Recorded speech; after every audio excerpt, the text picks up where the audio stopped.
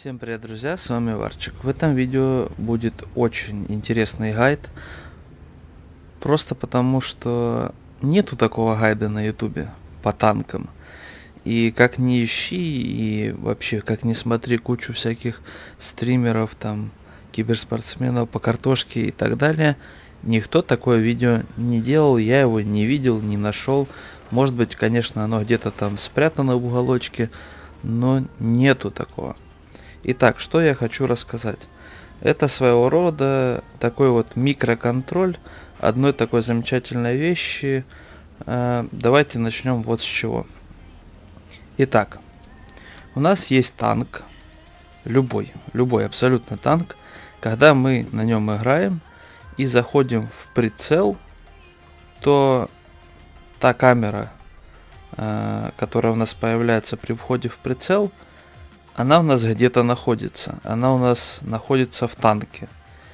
И находится она нигде попала, а находится она у нас э, на нашем орудии в самом начале, в основании.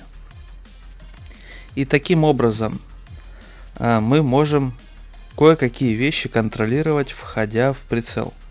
Итак, есть у нас танки, у которых орудие э, в башне находится либо низко, либо высоко, и в целом это всегда посередине башни.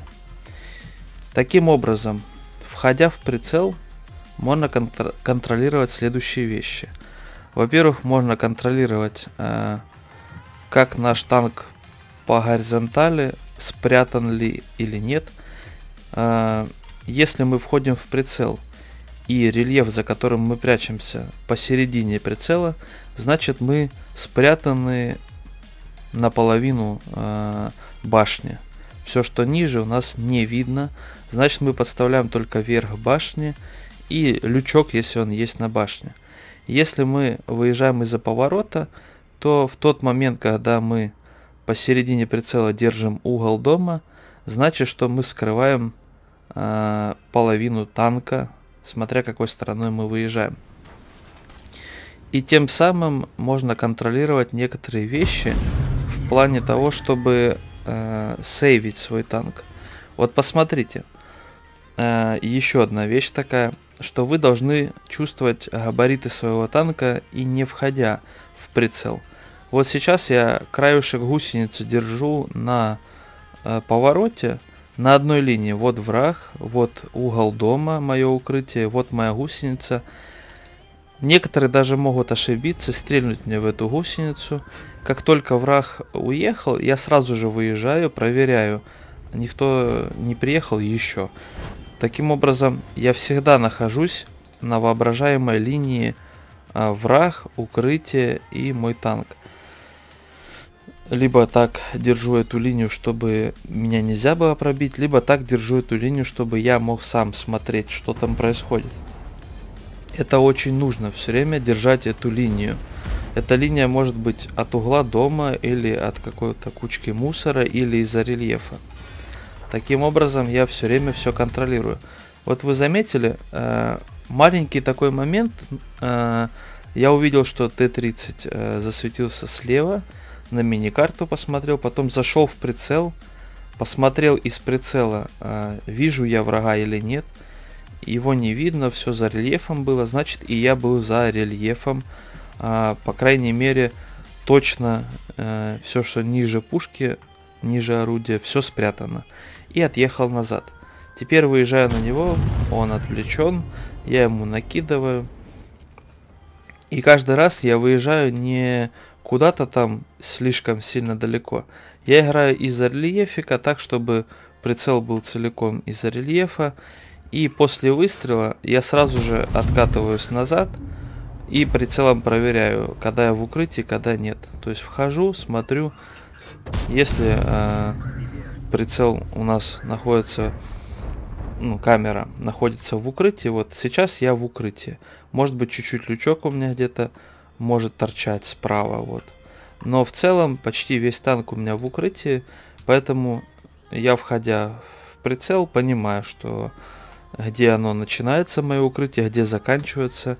То есть я выезжаю, стреляю, назад закатываюсь.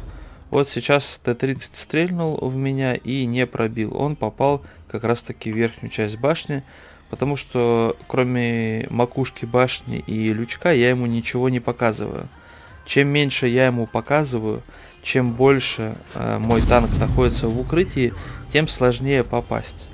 Мало того, что ему надо навестись, вам нужно все время двигаться. Двигаться так, чтобы лючок по горизонтали э, вдоль рельефа двигался. Чтобы чуваку пришлось подвигать мышкой. Это раз. И второе, если вы мало показываете танка из-за укрытия, в таком случае шанс попасть хуже, потому что в игре есть ВБР, и даже если чел наведется правильно, то не факт, что он попадет, потому что практически весь танк у вас за укрытием. Сейчас накидываем еще Эмилю в лючок. Да, я ему показываю э, вот стена, вот враг. Я ему показываю довольно-таки много э, своего танка.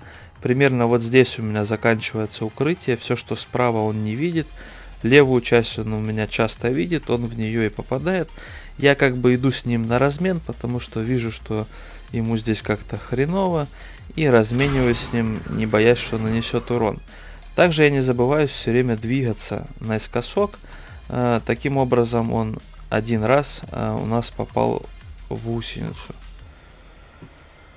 в попал, потому что я езжу вперед-назад, и он хотел, наверное, в НЛД попасть, но что-то пошло не так.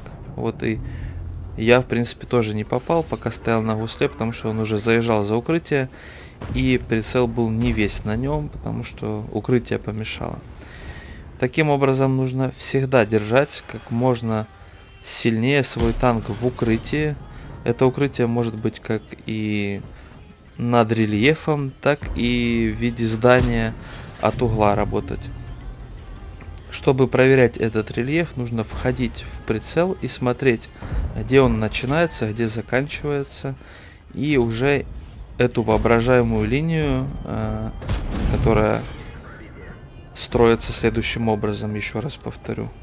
Вы заходите в прицел, вот ваша камера, которая из основания орудия появляется, вот от точки основания орудия строим линию к укрытию.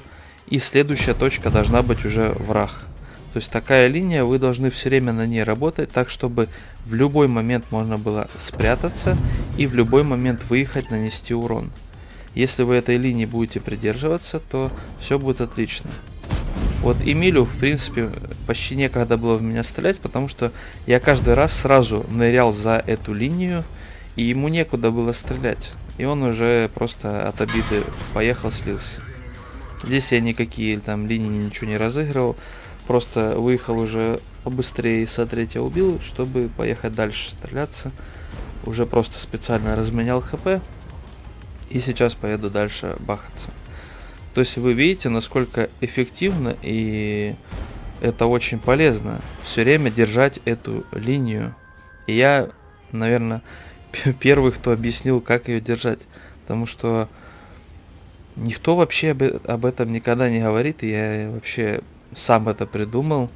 Не знаю, есть ли такой видос на ютубе, сомневаюсь. Но это самое, наверное, основное, когда играешь в танчики. Вот сейчас опять я держу эту линию э, с рельефом, который передо мной. Хоть враг и какой-то там был не очень, невзрачный, я все равно держу свой танк в укрытии, а вдруг кто-то сзади него стрельнет и так далее. То есть нужно все время танчик свой держать а, в безопасности, не нужно подставляться и сильно выезжать никуда не надо а, лишний раз.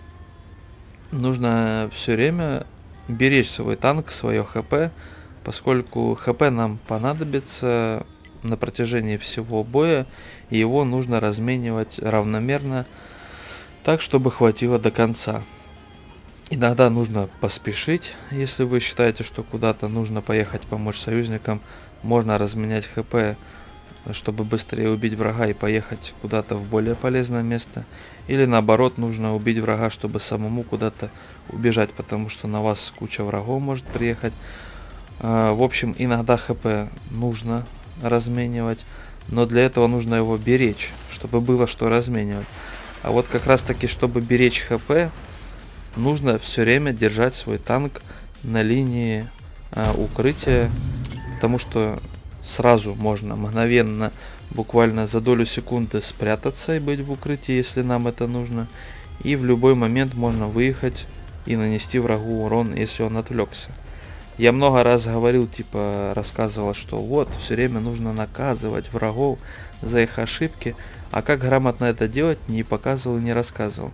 Нужно все время проверять рельефы, укрытия и так далее, насколько хорошо вы спрятались и все время держать эти укрытия э, перед собой. Ваш танк должен быть э, скрыт. Тем более еще нужно не просто прятаться, а еще и с правильной стороны прятаться. Иногда нужно находить укрытие от нескольких врагов, и это тоже можно проверить камерой, когда ты прячешься, правильно ты спрятался, весь танк спрятался или не весь. И можно одновременно прятаться и от двух, и от трех сторон. А, главное, чтобы в укрытии хватило вокруг. И вот, в принципе, камерой можно это проверять. Здесь у нас, в принципе, бой уже заканчивается. И мы с сохраненным своим 700 хп настреляли неплохо, 4000. Играли против девяточек и довольно-таки жестко и грозно в городе их отстреливали, не давали им продыхнуть. Они, конечно, тоже там что-то пытались, но я просто их душил, выезжал из-за своей линии укрытия, дамажил их, когда они были отвлечены, и сразу в нее же прятался назад. И вот, в принципе, такой вот гайдик. Я надеюсь, что он будет вам очень полезен. Ставьте лайки, подписывайтесь, репостите этот видосик, советуйте его друзьям. Я надеюсь, что мы все будем играть лучше и рандом будет не такой печальный по скиллу, как сейчас, а будет больше похож на что-то содержательное. С вами был Варчик, играть красиво, всем пока.